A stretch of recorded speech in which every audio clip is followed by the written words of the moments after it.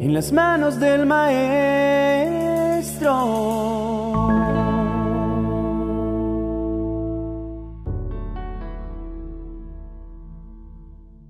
Cuando fue creado todo lo que observan a su alrededor, el cosmos, los planetas, la tierra, el agua, los animales, las plantas, todo lo que pueden observar con sus ojos, y por supuesto ustedes, fueron hechos por medio de mí y para mí. La creación fue el resultado de mi gran amor. Puse empeño en ella y me manifesté en diferente proporción y forma en cada detalle, desde el átomo hasta el sol. Toda ella me contiene, de manera que donde quiera que posen sus ojos o sus manos, deben hacerlo con la conciencia de que contiene mi presencia dentro. Estoy en la tierra como en la planta, de diferentes maneras manifestado, trayendo vida. David lo comprendió cuando escribió en el Salmo 139 diciéndome, Jamás podría escapar de tu espíritu, jamás podría huir de tu presencia. Si subo al cielo, allí estás tú. Si desciendo a la tumba, allí estás tú. Si cabalgo sobre las alas de la mañana, si habito junto a los océanos más lejanos, aún allí me guiará tu mano y me sostendrá tu fuerza. Podría pedirle a la oscuridad que me ocultara y a la luz que me rodea que se convierta en noche, pero ni siquiera en la oscuridad puedo esconderme de ti. Para ti la noche es tan brillante como el día. La oscuridad y la luz son lo mismo para ti. Yo estoy de incógnito a la vista suya. Me vestí del follaje que cubre el árbol del que tomas las manzanas que disfrutan. Estoy en el cachorro que bate la cola cuando los ve llegar cada noche, exhausto de trabajar. Y estoy también en el león que ruge y atemoriza a sus oponentes. Estoy en la noche y estoy en el día. Mi creación está ligada a mí. Por eso no hay forma de alejarse de mí. Si tratan con gentileza mi creación, notarán que ella responde al estímulo del amor, porque en él me identifica. Pero si por el contrario la tratan con agresividad, observarán que su rechazo se hará evidente. Los únicos seres a quienes les di la libertad de decisiones a ustedes. Ningún ave se negó jamás a volar por voluntad propia, ni ningún pez a habitar en el agua. Quiero que comprendan que tienen una gran nube de testigos a su favor o en su contra de acuerdo a sus actuaciones, pero también un multiverso que los acompaña y se identifica con ustedes a través de mí. Sé que se hacen miles de cuestionamientos acerca mío, por lo cual quise que me descubrieran de formas infinitas.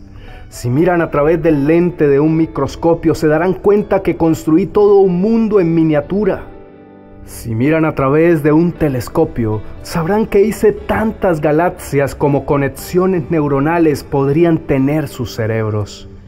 Estoy unido a todo, contenido en todo Hallarme no es un tema de ubicación, pues pueden encontrarme a la distancia de su propio corazón, porque también allí habito. No quiero que piensen acerca de mí que soy un Dios débil y sin carácter. No en vano soy llamado el Dios de los ejércitos. Soy el poder que sostiene todas las cosas y soy la bondad inmerecida y desmesurada. No existe nada en lo que no me halle Estoy en el bueno en forma de bondad y en el malo a manera de juicio. Soy el agua que vivifica y el fuego que consume. Soy quien juzga y justifica, quien instruye y corrige. Por tanto, no tienen excusa cuando dicen que me sienten lejos de ustedes. Cuando se presumen desamparados o cuando juzgan a los demás, pues al juzgar a otros se condenan a ustedes mismos, ya que practican las mismas cosas. Mis juicios contra su desobediencia y su tiranía contra mi creación y contra su hermano se basan en la verdad. ¿Piensan entonces que podrían escapar de mi juicio? ¿Ustedes que juzgan a otros y sin embargo hacen lo mismo que ellos? No desprecien las riquezas de mi bondad, de mi tolerancia y de mi paciencia cuando se niegan a reconocer que mi bondad quiere llevarlos a una vida diferente a la que viven ahora y conducirlos a un estado de reconciliación conmigo y con todo a su alrededor. Una vida en la que logren reconocerme en todo y en la que aprendan a comunicarse conmigo para tomar mi consejo. En muchas ocasiones me han dejado con la palabra en la boca y antes de decir alguna se han ido han corrido tras sus afanes, sin embargo, yo los veo desde todo ángulo, camuflado en la creación y pacientemente los espero. Pero por su obstinación y por su corazón empedernido, siguen acumulando castigo contra ustedes mismos para el día cuando revelaré mi justo juicio. Porque pagaré a cada uno según lo que merezcan sus obras. Daré vida eterna a los que perseverando en las buenas obras buscan honor e inmortalidad.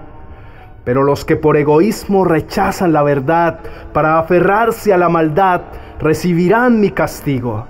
Sufrirán angustia todos los que hacen el mal, pero recibirán reconocimiento, honra y paz todos los que hacen el bien, porque conmigo no hay favoritismos porque yo no considero justos a los que oyen mis mandatos, sino a los que los cumplen. Ustedes llevan escrito en el corazón mis mandamientos, como lo atestigua su conciencia, pues sus propios pensamientos algunas veces los acusan y otras veces los excusan. Cuando se dirijan a mí en oración, tengan presente que no es necesaria la postura del cuerpo de rodillas en señal de señorío y rendición, como la del corazón. Si oran creyendo que me encuentro a la distancia que su imaginación me trasladó, difícilmente hallarán que estoy dentro suyo, consolándolos, fortaleciéndolos y amándolos. Si dicen amarme pero ultrajan mi creación, no los tomaré por inocentes. Si por el contrario deciden identificarme en la brisa que los refresca, en el sol que los abriga, en el agua que sacia su sed, en los árboles que producen los frutos de los cuales se alimentan, en la sonrisa de su prójimo, la gratitud se volverá su compañera inseparable y mi bendición sobre ustedes no se hará esperar. Deseo que sean uno con mi creación entre ustedes y conmigo, como somos uno nosotros. En la unidad hallarán compañía, consuelo, respaldo, fortaleza y paz. Estoy conduciendo todo al orden que desde el principio destiné. Solo un poco de tiempo más y mi creación será completamente redimida un poco más y la muerte no tendrá más cabida, ni el dolor, ni la tristeza, ni el llanto, ni el daño se sufrirá más. Porque mi creación reverdecerá como nunca antes la han visto, y mis animales correrán y convivirán entre sí de manera pacífica. También ustedes, quienes han obedecido a mi voz, quienes me han descubierto dentro y a su alrededor, compartirán conmigo la eternidad. El tiempo es ahora. El momento es justamente ya, en el que dejen de lado sus niñerías y le permitan a su ser interior mantenerse unido a mí, para construir una red de luz que ilumine a los que se hallan en oscuridad. Pueden decidirlo. Pueden vendarse los ojos para no verme o pueden taparse los oídos para no oírme, pero no pueden detener el latido de su corazón para evitar sentirme. Aquí estoy en todo espacio, objeto y lugar para ustedes. Por amor, por misericordia, con dosis desmedidas de perdón, con provisiones desbordantes de amor. Contrario a mí, ustedes no tienen forma de pasar de incógnito. Con amor, su incógnito creador.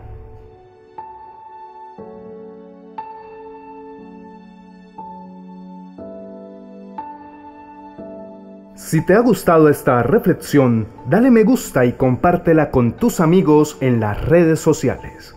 No olvides suscribirte a nuestro canal y activar la campanita de notificaciones para que estés enterado de cuando subimos una nueva reflexión. Y si estás pasando por una necesidad y necesitas apoyo de oración, por favor déjanos tu comentario y junto con nuestro equipo de oración e intercesión estaremos poniendo tu petición en las manos del Maestro. También te invito a seguirnos en nuestras redes sociales donde encontrarás contenido exclusivo que podrás compartir con tus familiares y amigos. En Facebook podrás encontrar videos cortos con tips sobre temas de familia, parejas, hijos y finanzas. Así que te animo a seguirnos en Facebook, ya que este contenido no lo publicamos en YouTube. Síguenos también en Instagram, donde todos los días compartimos una imagen con una frase poderosa para que reflexiones durante el día y la compartas en tus estados. Los links de nuestras redes sociales los encontrarás en el primer comentario de este video o en la descripción del video. Con ustedes, Julio Espinosa. Hasta una próxima oportunidad.